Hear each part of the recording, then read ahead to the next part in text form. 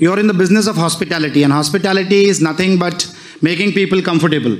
But you need to have people to make your guests comfortable.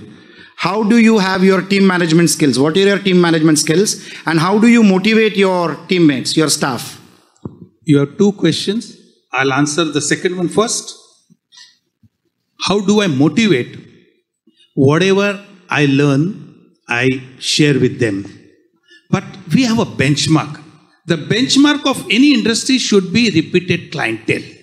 And that should be monitored all the time. And when we monitor that repeated clientele, Orchid has 83%, Fort Jadhavgadh has 94% repeated clientele, the highest in the world. Wow. And that compliment, I keep on giving it to them.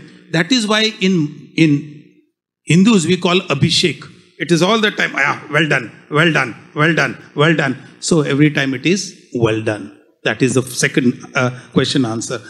Now you, we have systems and procedures. We see that they are followed. Having a computer doesn't make you will get account. Somebody has to do it. And it is done well. We I have take I always select ordinary people. I work with them, they become extraordinary.